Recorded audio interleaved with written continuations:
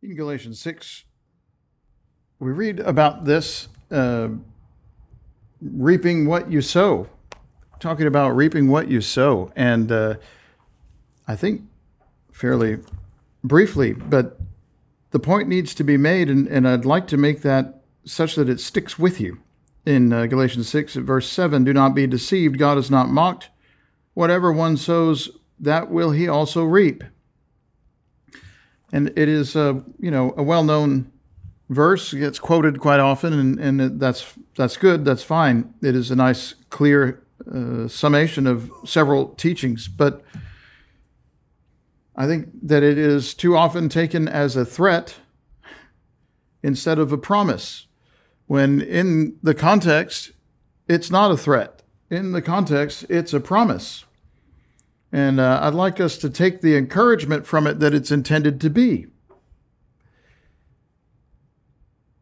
He said, The one who sows to his own flesh will from the flesh reap corruption, but the one who sows to the Spirit will from the Spirit reap eternal life.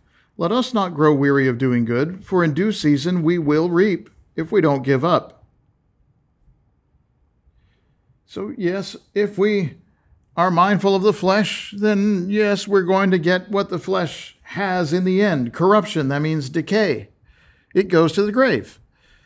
But if we are mindful of the Spirit and the things of the Spirit, spiritual matters, then we have this instead, which is a promise. We reap from the Spirit eternal life. We're doing good now, but he said, Let us not grow weary in doing it. In due season we will reap if we do not give up. What, what Paul is acknowledging is that we may not see the outcome of our right choices and our good living and our spiritual emphasis at the moment. That for a time there's suffering and there's difficulty and there's setbacks. And we're doing good. And maybe we'll get tired of doing it. But he said, don't, don't grow weary of doing good. In due season we will reap if we do not give up. Hold on is the meaning.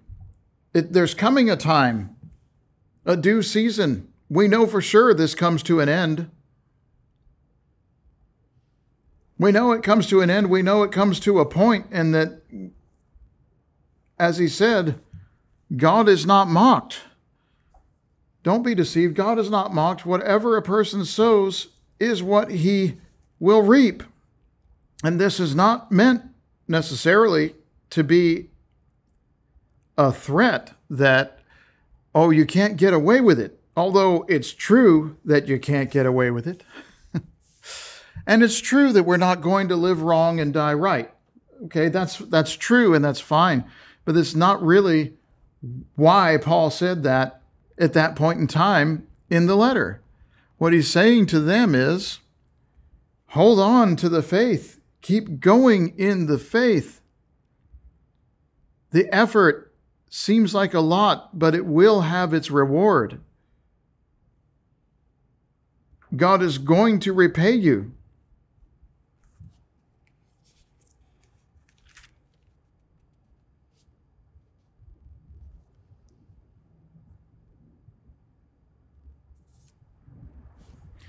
Uh, in this vein, I wanted to go back to Ecclesiastes and, and look at this. It, it's really something that should be quotable from memory, but the 12th chapter, 13th and 14th verses is the conclusion, the end of the matter, all has been heard. Well, here's the thing about that. What is the matter and what has been heard? what are we talking about? Well, the letter, you know, this thing in Ecclesiastes, it's worth thinking about it in the light of Galatians 6. What is the end of the matter? Well, it's this fear God, keep his commandments. This is the whole duty of man, for God will bring every deed into judgment with every secret thing, whether it's good or whether it's evil. So the conclusion he draws is what do we do? We fear God, we keep his commandments. This is everything. God will bring everything into judgment, secret things into judgment, and we will it will be known whether they are good or whether they are evil everything is going to come out in the wash. That's the idea. Why is this the conclusion? The conclusion of what? The end of what matter? What has been heard? It's in the answer to that question that this resembles Galatians 6. What has been heard is how this letter started out. That Solomon, king over Israel, was given everything. He had riches, honor, glory, the pleasures of life, whatever material goods anybody would ever want, or relationships, or whatever else it might be. He had everything. And he set his heart in the wisdom of the Holy Spirit to test everything in life and see what's what is just and what is guaranteed. That's the whole point of Ecclesiastes. What is just and what is guaranteed. That's why he goes through everything that he goes through. And he talks about, well, there's a time for everything. Sometimes it's time for war and sometimes it's time for peace, and they both have a time, a right time for this is what happens when. There's a time for everything. He finds that, you know, sometimes those who work do not get paid or are not paid appropriately or are not credited with the work that they have done. Sometimes those who are wise do not have money, or those who are wise are not thanked for their wisdom. Or sometimes somebody works and they get money, and then the money disappears, it gets stolen, it gets lost in a business venture, or they die. And all the money they worked for and saved, it gets passed on to the next and who knows what the next one is going to do with it? Not what the person who earned it intended to do with it, that's for sure. And he's examining all these things, saying, Are they just? Are they guaranteed? The answer is no, they're not. Sometimes we work and we are paid commensurate sometimes our, our compensation is fair and is right, and we feel like, okay, we're happy about this, but sometimes it's not. Sometimes we get cheated by employers. Sometimes we are undervalued in a society. Sometimes things happen to the money market forces, governments, wars, thieves. Anything can happen. Maybe you worked hard and you deserve to have what you need. And you deserve to be treated nicely. You've done only nice and good things for people at work. You've been there for them. But when your time comes, they don't treat you that way. Solomon recognized, yeah, sometimes that's how it actually goes. We want to believe that our efforts have a just and guaranteed outcome, that if you live right, things are going to go well for you. But that is not guaranteed. As a rule, living right is a good thing and has benefits. That's true, but it's certainly not guaranteed. There are injustices in the way that we are being treated because we love the Lord. We're there are injustices in how we're being treated because we love the truth. And you may work hard and not be compensated, or you may do good that is not recognized. You may have wisdom that nobody listens to. There's all kinds of unjust things in the world and in societies, and you know, it's the human condition. There's all kinds of things that are unjust. None of those things are guaranteed. You can work very hard and see none of it. You may die. Not to be uh, morbid or, or uh, down, just to speak real. It's just genuine and real. Anything can happen. We don't know what comes next. We don't know what's going to happen. But that doesn't have to be scary because we have the answer in Ecclesiastes 12. The end of the matter is this, right?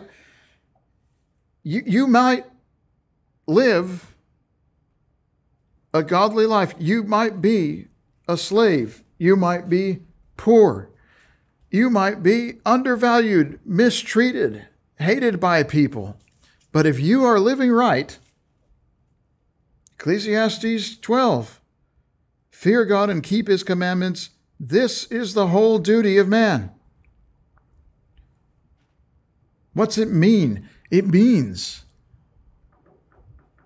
if you're rich or if you're poor, if you're a slave or, or if you're free, if you're male or you're female, if you're young or you're old, if you're able bodied or you're sick or decrepit, none of it matters. If you feared God and keep his commandments, you have done everything that God requires.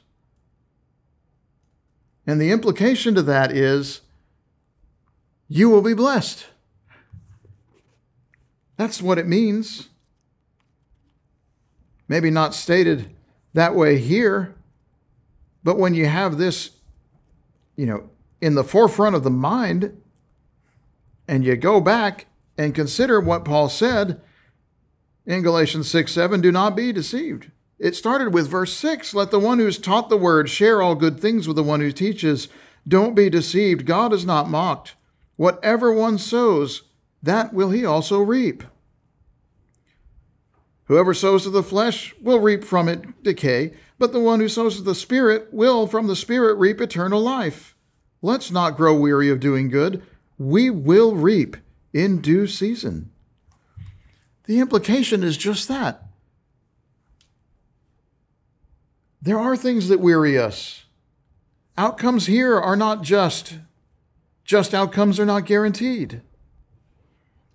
Things may not go our way in every case or in many cases, but it doesn't matter. Jew or Greek, slave or free, male or female, young or old, rich or poor. It doesn't matter. What matters is are you living right? Because there's nothing else to this. Don't be deceived. There is nothing else to this. It is just that simple.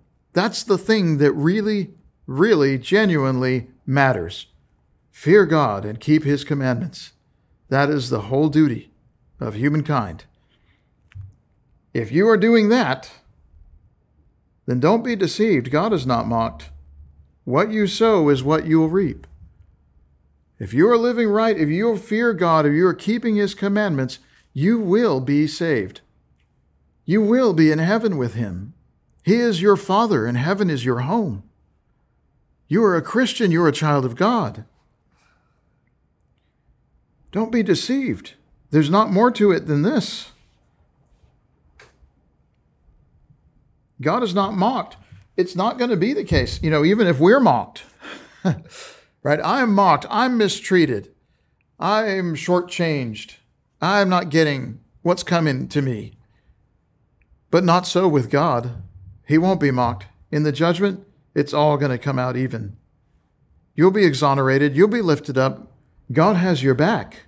That's the meaning of Galatians 6. He's trying to tell them you should stand up to the error that is among you with the Judaizers. Those of you who are holding to the faith, you stand up. You stay firm. God has got your back. You'll be repaid in the end, though it's tough right now. That's what he's telling them.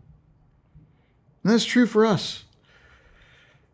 Some things are tough, no doubt. I don't say this to minimize suffering. I'm saying take it in the scriptural way that it's intended. Yeah, the scriptures contemplate that that's the way things are. Life is not fair. What is crooked cannot be straightened.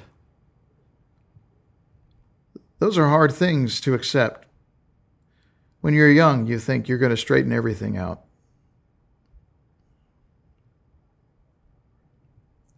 And then you get older, and you realize there's some things that cannot be straightened. There's some things I can't do anything about except pray. And uh, that's how it's going to be. But I know that God sees it too. And God is not mocked, and God is not unjust. And He'll get us, He'll cover you. He's good for it. And the reward, well, the reward outweighs what we pay for it by. So many times over, it's infinite, it's undefined. Eternal life is not worthy to be compared with the sufferings of this world. So remember these things. It's worth it, the Christian life, the choices that you make, and God sees it even if nobody else does. He's got you. Trust in Him. Embrace your salvation. And join John in saying, Come, Lord Jesus.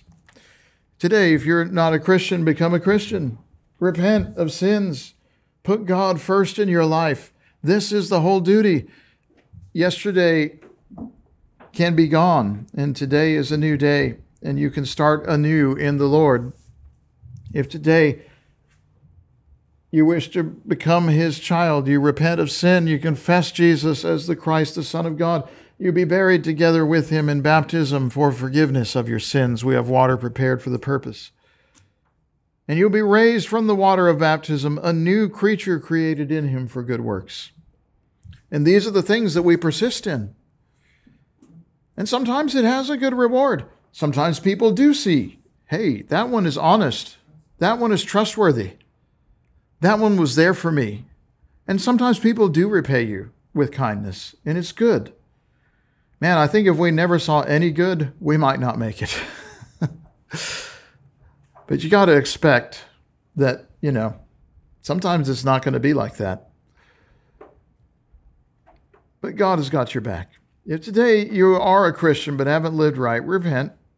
Pray God for forgiveness and let us help you too, because we all are suffering in life things that you've uh, uh, gone through, things that you, you're, you've been beset with are not unique. Others have been there, might have some word of encouragement to help.